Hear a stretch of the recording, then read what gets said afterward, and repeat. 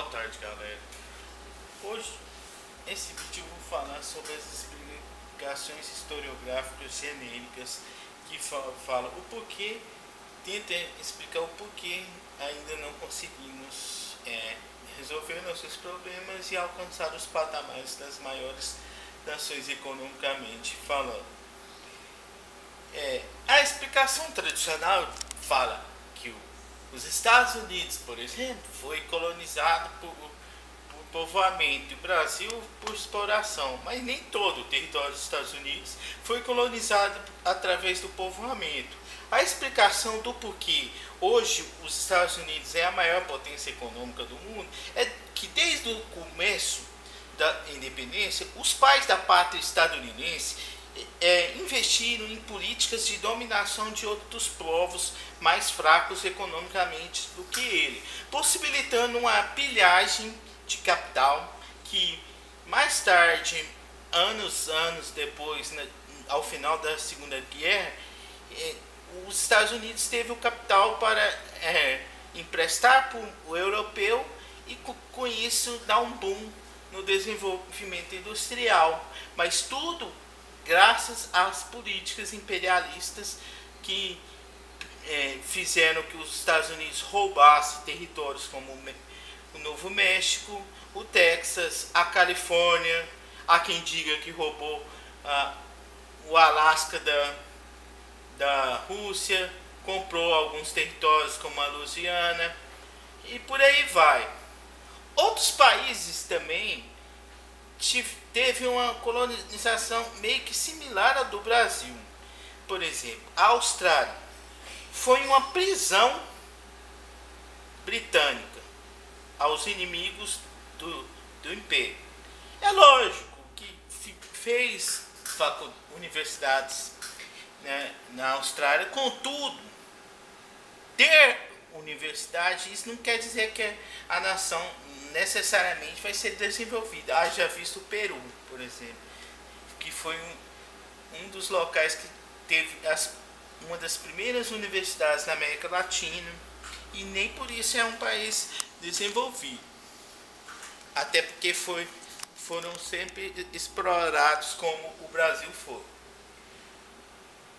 O que explica o, o desenvolvimento da Austrália? são as políticas de imperialismo, de dominação de outros povos da Oceania, que faz com que a Austrália, que tem, menos, que tem mais de apenas 100 anos de independência, se tornasse um país desenvolvido. E a China? E o que dizer da, do pseudo-socialismo chinês? A China cresceu graças a a, as políticas imperialistas de dominação de povos como os tibetanos, que ele, eles usam os tibetanos como bucha de canhão para as armas nucleares chinesas. E, e com isso foram enriquecendo, dominando os povos mais fracos economicamente que ele e se tornando uma potência econômica, embora haja muita desigualdade no território chinês.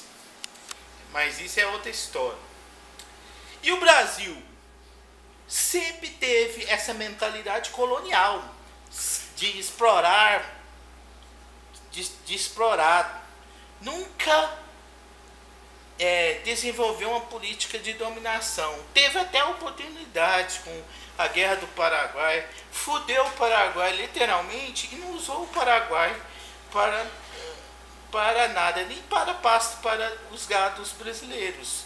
É, eles destruíram literalmente a população paraguaia, matando 70% da população e não usaram o território para nada, segundo as lógicas do capitalismo. Isso não quer dizer que eu concorde.